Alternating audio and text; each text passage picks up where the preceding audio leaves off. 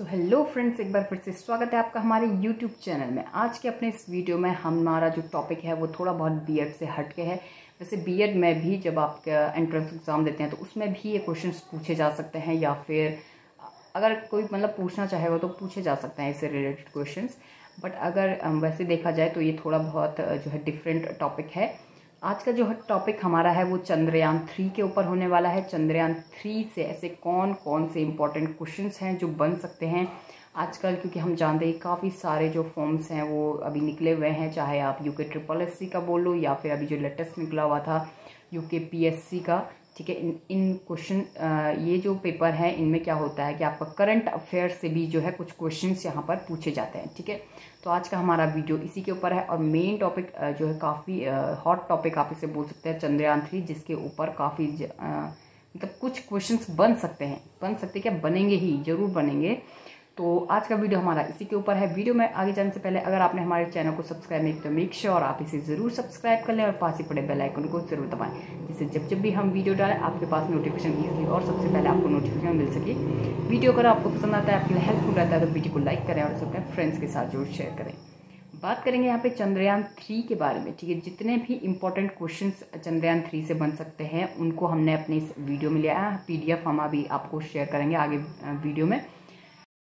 तो फ्रेंड्स जैसे कि चंद्रयान थ्री का जो हमारा पीडीएफ हमने आपको बताया था तो इसके करंट अफेयर्स आप यहाँ पे देख सकते हैं। ठीक है करंट अफेयर्स हम यहाँ पे आपको बताने वाले हैं कि कितने इंपॉर्टेंट क्वेश्चन जो है इससे बन सकते हैं। तो यहाँ पे सबसे पहला जो हमने स्टार लगाया हुआ है, काफ़ी इंपॉर्टेंट क्वेश्चन है और देखने के लिए मिल सकता है इन फ्यूचर जो है काफ़ी सारे एग्ज़ाम्स में। तो यहाँ पे हमने लिखा है कि भारत और हमने लिखा है चौथा देश। ठीक है, क्योंकि नोट्स के तौर पे हमने प्रिपेयर किया है तो दैट्स वाई इसमें थोड़ा इजी वे में आपको यहाँ पे मिलेंगे। तो भारत चौथा देश मतलब इंडिया जो है वो चौथा देश बन चुका है आफ्टर मतलब लैंडिंग ठीक है? मतलब जब उसने चाँद पर अपना जो है जहाज़ को लैंड करा दिया है, ठीक है? यान को लैंड करा दिया तो इंडिया यहाँ पर चौथा ऐसा देश बन चुका है जिसने सक्सेसफुली जो है अपने लैंड अपने जो है रॉकेट को यहाँ पर लैंड कराया है चाँद पर, ठीक है? नेक्स्ट जो क्वेश्चन फ़र्स्ट हम यहाँ पे आपको यहाँ पर दिख रहा होगा, ठीक है? एक मिनट यहाँ पे जो क्वेश्चन फ़र्स्ट है वो क्या है? चंद्रयान थ्री मिशन भेजा गया था। चंद्रयान तीन जो मिशन था, वो भेजा गया था। इसरो द्वारा ही भेजा गया था, ठीक है?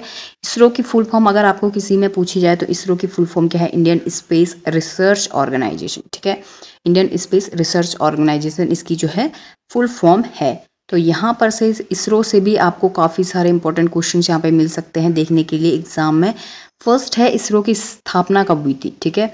कब इसरो बन करके बना बना था तो इसका जो राइट आंसर है वो है पंद्रह अगस्त उन्नीस को, ठीक है? पंद्रह अगस्त उन्नीस को क्या है, ये बन करके बना था मतलब स्थापना है इसकी। सेकेंड आपको पूछा जा सकता है, इसरो का मुख्यालय कहाँ है? इसरो का मुख्यालय बेंगलोर, कर्नाटक में आता है। अब ये दो इंपॉर्टेंट क्वेश्चन हैं, जो कि आपको यहाँ पे याद रखने चाहिए कि जो इसके वर्तमान चेयरमैन है इसरो के, ठीक है? जब भी चंद्रयान थ्री गया था टू में भी यही थे तो जो इसके वर्तमान चेयरमैन हैं, वो कौन है? एस सोमनाथ हैं, ठीक है? एस सोमनाथ इसके वर्तमान में चेयरमैन है और इसकी स्थापक स्थापना किसने की थी? मतलब इसरो जो बना, बन के तैयार हुआ था पंद्रह अगस्त उन्नीस को तो उस समय इसके संस्थापक कौन थे? मतलब जिन्होंने इसे बनाया है, जिन जिन, जिन्होंने इसको मतलब बना कर, बना के दिया है इसका इसरो को, जिन्होंने इसरो को बनाया है। तो वो कौन है? इसकी स्थापना किसने की है? वो है विक्रम साराभाई, ठीक है? जिस, जिनके नाम पर जो है हमारे रॉकेट का नाम भी विक्रम रखा गया था। तो विक्रम साराभाई इसका, इनके कौन है? इसरो के क्या है? संस्थापक है, ठीक है? वर्तमान चेयरमैन एस सोमनाथ है और संस्थापक इसके कौन है? विक्रम साराभाई। नेक्स्ट जो क्वेश्चन इससे बन सकता है, क्वेश्चन नंबर टू हम यहाँ पे देख लेते हैं। क्वेश्चन नंबर टू है कि भारत द्वारा भेजे गए कुल मिशन, ठीक है? मतलब चंद्रमा पर, चाँद पर भारत ने कितने मिशन भेजे हैं, ठीक है? भारत द्वारा भेजे गए कुल मिशन कितने हैं? जो चाँद पर गए हैं तो तीन मिशन अभी तक जो है भारत ने भेजे हैं, तीन बार जो है अपना रॉकेट चाँद पर भेजा है इंडिया ने। पहला जो मिशन था इसका, वो 22 अक्टूबर 2008 को भेजा गया था, ठीक है? ये लैंडिंग वाला, क्या बोलेंगे इसे? मतलब ये लैंड वाला मिशन नहीं था इनका, ठीक है? लैंडिंग मिशन नहीं था, ये ऑर्बिटल मिशन था। तो ये मतलब अभी सिर्फ़ जो है, जो उस समय फ़र्स्ट इसका रॉकेट भेजा गया था, वो अभी चंद्रमा के चारों ओर जो है राउंड लगा रहा है और ये जो मिशन है, ये अभी भी कैरी ऑन है, ठीक है? मतलब अभी भी चल रहा है, ठीक है? दूसरा जो मिशन इन्होंने भेजा था, वो 22 जुलाई 2019 को भेजा था, जो कि अनसक्सेसफुल हुआ, ठीक है? ये आपको याद रखना है। कि अगर आपको पूछ दिया जाए कि कौन सा ऐसा मिशन था चंद्रमा पर भेजा गया जो कि अनसक्सेसफुल रहा तो वो सेकेंड वाला था, ठीक है? मिशन नंबर दो, जो कि हमारा 22 जुलाई 2019 को भेजा गया था। तीसरा जो मिशन जो कि काफ़ी इंपॉर्टेंट मिशन है और अभी जो है काफ़ी पॉपुलर है थर्ड मिशन जो इंडिया द्वारा भेजा गया है वो 14 जुलाई 2023 को भेजा गया था, जो कि, ठीक है? 14 जुलाई 2023 को इन, जो है पृथ्वी से भेजा गया था, चाँद पर। और ये 23 अगस्त को जो है चाँद पर लैंड हुआ सक्सेसफुली, ठीक है? दो बज के पैंतीस मिनट पर जो है इंडियन स्टैंडर्ड टाइम के अनुसार ये दो बज के पैंतीस मिनट पर सक्सेसफुली लैंड हुआ था चाँद पर, ठीक है? चौदह जुलाई को भेजा गया था। तो यहाँ पे ये दो डेट आपको काफ़ी ज़्यादा याद रखनी है। चौदह जुलाई को भेजा गया था और तेईस अगस्त को ये जो है लैंड हुआ है चंद्रमा पर, ठीक है? तो ये जो क्वेश्चन नंबर टू था, इससे भी आपके दो तीन क्वेश्चन यहाँ पर जो है बन चुके हैं और अगर आपने ये क्वेश्चन ठीक से प्रिपेयर कर लिया तो ये समझ लीजिए आपके तीन चार क्वेश्चन के आंसर आपको यहीं पर से मिल जाएँगे, ठीक है? तीन जो है मिशन भेजे गए थे। पहला मिशन ऑर्बिटल मिशन था, वो लैंडिंग मिशन नहीं था। ऑर्बिटल मिशन है, लैंडिंग मिशन जो है दूसरा और तीसरे वाले थे। दूसरा अनसक्सेसफुल रहा, तीसरा जो है सक्सेसफुल हो गया। तेईस अगस्त को, चौदह जुलाई को भेजा गया था, तेईस अगस्त को सक्सेसफुल हो गया, ठीक है? बढ़ते हैं अपने नेक्स्ट क्वेश्चन की ओर। क्वेश्चन नंबर थर्ड जो हमारे पास है, वो है चंद्रमा, चंद्रयान थ्री, ठीक है? क्या है? चंद्रयान थ्री में मॉड्यूल कितने हैं? कितने मॉड्यूल हैं? मतलब कितने उसके पार्ट्स हैं? एक तरफ़ से आप ये मान के चल सकते हैं मेन पार्ट ठीक है? तो तीन इसमें मॉड्यूल हैं। कौन कौन से मॉड्यूल हैं? प्रपल्सन इसका एक मॉड्यूल है, दूसरा इसका लैंडर है, तीसरा इसका रोवर है, ठीक है? हाँ तो प्रपल्सन क्या करता है? ठीक है? क्या इनके कार्य हैं बेसिकली वो भी हम यहाँ पे देख लेते हैं एक बार। ठीक है? तो तीन पार्ट में इसे, जो पूरा चंद्रयान थ्री जो है, पृथ्वी से लैंड हुआ चाँद पर तो उसके तीन पार्ट्स आप ये मान के चल सकते हैं कि तीन पार्ट्स में से डिवाइड किया गया है। तो पहला है प्रपल्सन प्रपल्सन क्या करता है? चाँद तक लैंडर तथा रोवर को ले जाता है, ठीक है? चाँद, चंद्रमा तक लेके जाता है किसको? लैंडर को भी और रोवर को भी। अब लैंडर रोवर क्या है? ठीक है लैंडर और रोवर जो है हमारे नेक्स्ट पार्ट है। तो लैंडर क्या करता है? रोवर को लैंड कराता है लैंडर स्थिर रहता है, ठीक है? मान लीजिए यहाँ से जो है पूरा का पूरा जो है रॉकेट हमने जो अपने स्क्रीन पर देखा वो गया, ठीक है?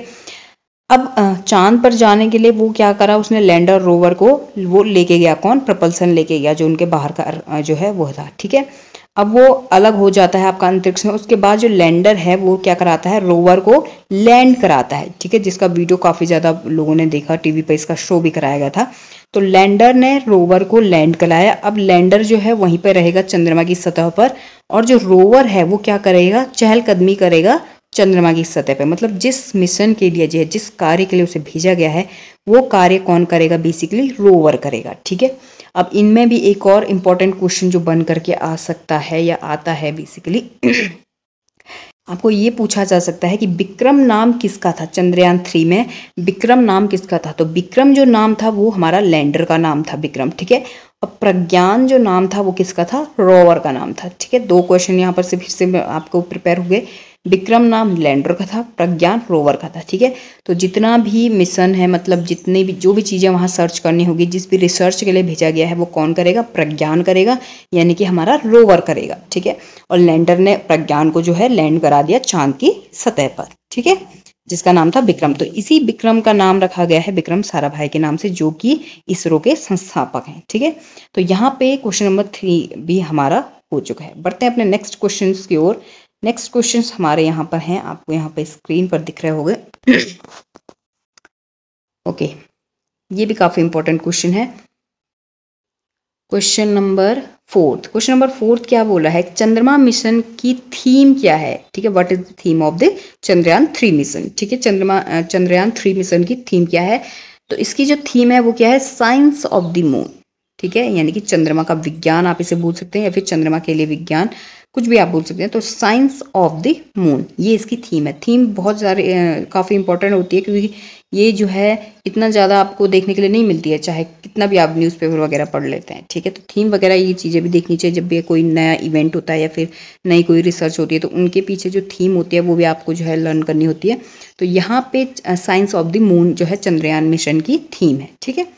नेक्स्ट क्वेश्चन है हमारा चंद्रयान थ्री कहाँ पर लैंड हुआ, ठीक है? ये तो वैसे तो इंपॉर्टेंट है बट काफ़ी सारे लोगों को इसका नॉलेज भी होगा कि जो चंद्रयान थ्री मिशन है, वो कहाँ पर लैंड हुआ?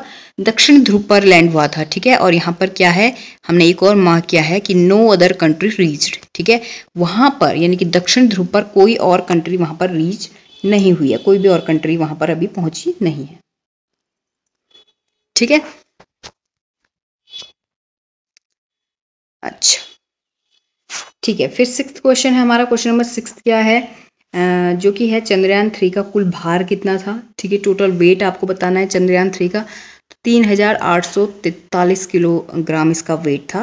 अप्रॉक्स आपको जो है तीन हज़ार नौ सौ भी कई सारे एग्ज़ाम में देखने के लिए मिल सकता है। तो आप अप्रॉक्स अगर आपको पूछी जाए तो आप इसी के अकॉर्डिंग अप्रॉक्स वैल्यू भी लिख सकते हैं। बट अगर आपको जो है मतलब फिक्स पूछी जाए तो तीन हज़ार आठ सौ तैतालीस किलोग्राम ठीक है? क्वेश्चन नंबर सेवन्थ यहाँ पर है चंद्रयान थ्री की कुल लागत। टोटल कॉस्ट कितनी बैठी चंद्रयान थ्री को बनाने में? तो जैसे कि हमने सुना ही है कि का बहुत ही कम पैसों में मतलब इतने में 615 करोड़ जो ये कीमत है इसमें और अदर कंट्रीज़ तो प्रिपेयर कर भी नहीं सकते हैं। तो यहाँ पे बहुत ही कम आ, लागत में जो है इंडिया ने ये यान जो है प्रिपेयर कर दिया। तो 615 करोड़ इसकी टोटल कॉस्ट आई थी। नेक्स्ट क्वेश्चन है, यहाँ पे question number eight Chandrayaan three का प्रयोग किया गया में प्रयोग किया गया रॉकेट कौन सा है? तो एल वी एम थ्री ठीक है L V M three rocket इसमें प्रयोग किया गया था, ये भी आपको याद रखना है। नेक्स्ट है प्रोजेक्ट मैनेजर कौन है चंद्रयान थ्री के? मतलब कौन इसमें जो ये जो ये प्रोजेक्ट था, इसके मैनेजर कौन थे बेसिकली तो पी पी वीरा मुथुर मुथुरवे ठीक है मुथुरवेल तो ये है पी वीरा मुथुरवेल ये इसके प्रोजेक्ट मैनेजर हैं। क्वेश्चन नंबर टेंथ है यहाँ पर। पहला स्पेस क्राफ्ट जब चाँद जब मानव ने चाँद पर भेजा था, ठीक है? ऐसा कौन सा पहला स्पेस क्राफ्ट था जो मानव रहित नहीं था मतलब ठीक है? उसमें मानव था और मानव वाला ही चाँद पर भेजा गया था तो ये था अपोलो इलेवन, ठीक है?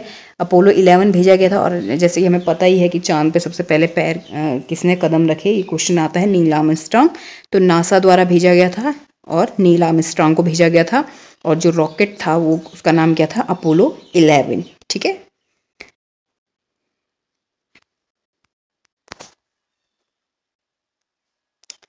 नेक्स्ट क्वेश्चन है हमारा यहाँ पर question number eleven question number eleven क्या है कि पहला मानव रहित स्पेस क्राफ्ट ठीक है?